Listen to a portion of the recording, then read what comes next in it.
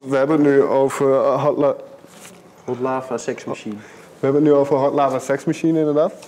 Ehm, wanneer je begint aan zo'n project als een plaat maken, heb je dan een idee van, van hoe het ongeveer moet klinken? Dat je, ga je nummers zoeken die een beetje bij elkaar passen? Het idee wat we voor deze plaat hadden was het Battleplan was eh, een strijdlustige plaat. Eh, en zo klonk het af en toe ook qua sound. Best wel eh, intens. En we wilden voor de nieuwe plaat wilden we iets wat, wat warmer en volwassener. En ehm, qua sound hebben we nu gekozen echt voor een warmere sound. Eh, dat hebben we dus in de mix en in de opname zo weten te krijgen, maar ook in, in, het, in het schrijven van de nummers. Nummers die veel minder gaat om, om, de, ja, om de hardheid, maar ook een zachte kant laten zien van de band. Al, we hebben vandaag een recensie gezien eh, waarin mensen het alsnog intens kunnen vinden. Ja, dat snap ik ook wel. Maar er zit- zitten een paar nummers op die, dus die best wel eh, een, een warme, zachte kant hebben. Ja. Strings of Love bijvoorbeeld. Ja. Eh, Hot Lava Sex Machine heeft een heel middenstuk. Ja. Was het belangrijk voor jullie om die kant te laten zien? Want jullie staan denk ik eh, vooral ook bekend als, als een goede live act. En, Ja. en die energie die dat uitstraalt. Dus is het dan ook belangrijk om die, die wat, wat eh, zachte, Ik vind zachtere wel- kant Ik te vind laten van ook wel, ja. Het is wel... Kijk, op de, die Gallows was eerst altijd van... Oké, we gaan op dat festival helemaal opgehyped. En weet je wel... Dat, dat, dat, weet je wel, dat las je dan ook vanuit een soort van kritische recensie van Lowlands. Weet je wel, door 3 voor 12 van... eh, ja, eh, weet je wel, geen opbouw. Gewoon direct vol erin, weet je wel. En dat, ik ben er op zich ook wel van gecharmeerd. Dat we dat op festivals gewoon vanaf, het e- vanaf moment 1 op standje 12 van en gaan. En dat is ook wat, weet je wel, mensen helemaal daarna in een soort van eh, staat van extase brengt, weet je wel. Die hebben daarna, weet je, het is alsof een ja, gember, gembershot XL met gewoon papers en alles. En eh, alles qua oppeppende middelen gewoon in één keer in je mik krijgt gedouwd. gembershot. nee, je snapt wat ik bedoel. Ja, ik snap wat ik bedoel, toch? Ja, ik snap ja, bedoelt. helemaal goed. En, eh, en door daarna, weet je wel. En nu merken wij ook wel dat, we het, dat de tijd voor ons wel rijp is om eh, composities ehm, te gaan maken waarin, ehm, en dat wordt dan zeker wat je nu bij deze plaat hoorde, maar wat waarschijnlijk ook wel gaat gebeuren op de plaat die, die we, we gaan alweer voorbereiden voor. Het, het hele maakproces van zo'n album is gewoon constant. Gallows Street is eigenlijk zoveel mogelijk bezig om met die gezellige clubjes opzetjes te maken. En dan op een gegeven moment is er ruimte een beetje in het tourschema ehm, tussen die shows door om even met elkaar wat te gaan afmaken. En dan zijn er weer nieuwe tracks. En die ga je live spelen. En weet je, op een gegeven moment denk ik van, nou ja, weet je wel, laten we weer de studio in gaan. Dat, is, dat was het geval met, met Badplan was het wel de urgentie van, we moeten een plaat maken. Met wat Machine, dus laten we weer een plaat gaan maken. En ik denk dat misschien voor album 3 dat we gaan zeggen van, nou, we wachten even totdat de tijd echt rijp is. En dan gaan we even proberen ons nog...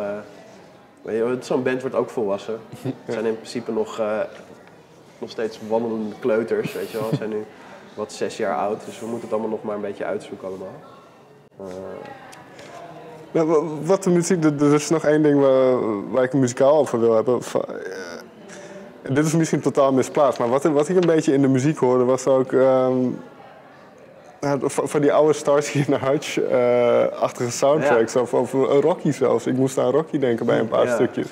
Dus, dus die, die atmosferische eh, kwaliteit, die, die- een beetje, heeft dat een rol? ook Ja, filmmuziek. Heeft dat een beetje een rol eh, Heel erg. gespeeld? zeker. Ja. Bij sommige nummers, eh, om tijdens het schrijfproces, dan zeggen, zegt wat één iemand tegen de rest van de band, eh, denk nu even deze scène in. en, dan, en dan vertelt iemand aan een van, denk nu even aan, aan dit, wat aan, aan, aan een cowboy die in een DeLorean auto door een woestijn scheurt. Nou, zo is de DeLorean cowboy die Oké. ontstaan. Ja. Want je hebt een Ennio Morricone stuk, de hele tijd zo van een epische cowboy moment. En dan op een gegeven moment heb je een middenstuk waar je dan het idee hebt dat je Back to the Future opeens een DeLorean uit het niets... Vet, een soort van synthpop, weet je wel, Ja. eh, ik had voor die video, de, we hadden toen, eh, ik had mijn huisgenoot uitgenodigd, Sam, om eh, ons te filmen in de studio. En dat zijn hele mooie zwart-wit beelden. We hadden echt een mooie camera gekregen van, van Camelot. Mochten we allemaal mooi vastleggen. Toen hadden we die beelden en toen had ik daarna op YouTube, zag ik de ondertitelfuncties. Toen heb ik daarna, had ik, eh, had ik een soort van, een kleine soort van filmscène eronder getikt. Dus als je dan die, die, die track luistert met de ondertitels erbij, dan zie je ons spelen, weet je wel, die tune. Maar je leest dan in de ondertitels zeg maar het, het, het script zeg maar. En of toen, ik had gewoon een beetje geprobeerd, een beetje amateuristisch van en wat de camera dan doet, weet je wel, wat Ja. we precies zien. En, eh, maar dat vond ik, weet niet, ik vond dat best wel leuk. Ik heb er, maar het was gewoon namelijk een binnenpretje van mij. Maar ik dacht van, het, het werkt wel of zo, weet je wel. Je De, kan, mu- de muziek als een soort van film. ja, je kan, er, je kan er echt best wel een hoop bij voorstellen. En dat is ook denk ik, als je dat dan combineert, dat sferische, dat filmische, combineert met een soort van, met, met de punch van Gallows Street, dan, ja, dat, ik bedoel, dat, is- dat is wel eh, de grote kracht achter de muziek of zo. En hoe we dat dan brengen ook op het podium. Dus dat is wel eventueel iets waar jullie verder in willen verdiepen en, en kijken hoe jullie die visuele aspect misschien van de band. eh, Het was, het was eigenlijk vanaf toen we dat Battleplan, dat, dat album gingen maken, was dat wel... Oké. Oh ja, dit is wel... Je, je kon er... Je kon er... Ach, weet je wel, hoe, hoe meer je met elkaar, hoe meer tijd je met elkaar doorbrengt, hoe meer shows je met elkaar speelt, dan ga je steeds meer achter komen van, oh ja, dit, maar dit is wat, weet je dit is wat werkt. Ehm, qua compositie-elementen, qua sferen. Dit is, weet je wel, dit is ongeveer waar het over moet gaan. Dit zijn de elementen die Gallows Street tot Gallows Street maken. En dat is, je bent gewoon eh, met z'n allen een beetje op die zoektocht. En je komt er steeds meer achter van wat werkt, weet je wel? Dus met elk album dan kom je dichter bij, bij Ja. jullie. ja, ik denk dat je er nooit helemaal bent of zo, weet je wel. Je gaat jezelf probeert om het een beetje vers voor jezelf te houden, moet je het constant jezelf een beetje heruitvinden. En, eh, ja, zoeken. Laatste ding dan, eh, we hadden het over Nederland, maar jullie zijn ook eh, redelijk ac- actief in het buitenland. Vorig jaar zijn jullie naar Engeland geweest. Ja. Ehm, nou, ik noemde het woord ambitie al. Waar, waar voor jullie, hoe kijken jullie naar het buitenland? Is, zien jullie dat nog als, een- als een markt die jullie... eh, Eigenlijk alleen maar. Oké. Ja. Ik denk dat we, zoals Dirk eerder vertelde, is we hebben alle uithoeken wel gedaan in Nederland. En ik, zou, ik zou best wel alle uithoeken in, eh, in het buitenland willen doen. We waren in Algerije een paar weken geleden. En dat was hoe de mensen daar reageerden op onze muziek. Dat, was, dat hadden we nog nooit meegemaakt in, eh, in welke uithoek dan ooit van Nederland. Eh, mensen zijn hier al zo over, overbelast met alle festivals die je hebt. En als je naar landen gaat waar mensen eigenlijk überhaupt geen festivals live muziek hebben, dan, dan weet je met onze, dan kunnen we met onze muziek echt een soort van euforie creëren die, die ons weer eh, ook heel blij maakt. Ja. Dus, dus in elk land is er wel. Zijn er, men, zijn er mensen die blaasinstrumenten spelen? Dat vind ik, het, vind ik het echt het leuk van de instrumenten. Het blijft onverminderd populair of zo. Mensen blijven dat gewoon doen. De saxofoon wordt opgepikt, weet je wel. Je ziet een, van een nieuwe generatie dat, die er ook weer aan zit te komen. En dat blijft. En er is een... De mensen die dat doen, die zijn wel echt committed naar Oké. die, die blazerband, zeg maar. Weet je wel. Dus die zoeken dat gewoon op. En dat is in elk land heb je dat gewoon. Je hebt overal, maar vooral in zeker bepaalde delen van de wereld is het iets sterker vertegenwoordigd dan andere.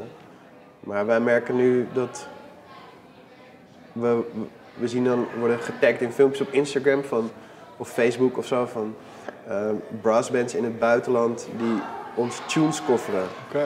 Dat is- Dat is echt heel erg sick. Dan zit je, dan dus we kregen zo'n eh, gast die heet Bra- Brandon of zo, ik weet, niet, ik weet het niet meer. Hij was Santerville, Virginia. En die had een, heeft een high school brass band dat hij bij elkaar gebracht. En toen speelden ze een tune van ons. Dan zie je zo'n filmpje van dat ze dat dan in het eh, auditorium van, van een school, in de aula, dat ze dat daar aan het spelen zijn. En van, weet je wel, voor die mensen, die wil, je- daar wil je gewoon, wil je gewoon naartoe. Van, hey, van, hey, vet man, weet je wel, wat leuk. Eh, tof dat je dit doet en eh, die, gewoon die toewijding naar elkaar. Dat is echt, maar het, het, het is instrumentaal en mensen worden er vrolijk van. Het is niet heel ingewikkeld of zo, weet je. Het is gewoon, gewoon gaan met z'n allen, weet je wel. Even mensen weer voorzien van een, eh, een goede dosis blijdschap en eh, zin. En, ja. Dus dat kan overal, denk ik. Ik zie, ja, het zijn geen grenzen. Het is alleen de beperkende factor is dat we dat het een groot gezelschap is. En, Ja. eh, weet je, Taalvliegtickets. ja, joh. Ja, het is allemaal moeilijk. Dus eh, steun ons. En- nee, maar we komen er wel, weet je. Zolang Galaxy bij elkaar blijft en, dan, eh, dan, eh, en wij hebben zin om naar het buitenland te gaan, dan gaan we dat gewoon ook zeker doen. Die, dat moet, eh, die tunes moeten gespeeld worden en die mensen mogen het allemaal horen. En eh, we willen gewoon nieuwe vrienden maken overal. Klinkt goed. Ja, Heren, heel erg bedankt voor jullie tijd. dankjewel. Dank jullie wel. Doet uit.